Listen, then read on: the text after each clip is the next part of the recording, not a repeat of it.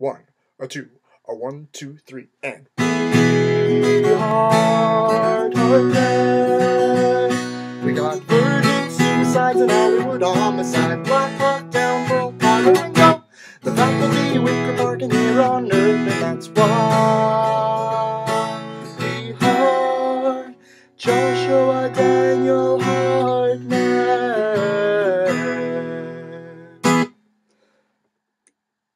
Thank you. Now, that was not an original composition of my own, but in fact the work of three, count 'em three excellent internet content creators by the names of Patrick H. Willems and the brothers Torpey, Jacob, and Matt, not necessarily in that order. Um, not only do they make pretty great videos of humor and film criticism over on Patrick's channel, which he's pretty popular, but they've also been undergoing a pretty interesting project as of late. And when I say as of late, I mean like the beginning of 2018. pretty interesting podcast where they catalog, analyze, and review the entire filmography of an actor who I'd never really heard of before, and hopefully some of you out there, besides just me, haven't really come across before. One Josh Hartnett.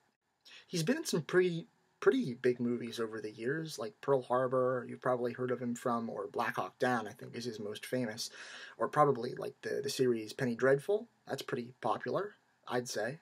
I haven't seen it yet.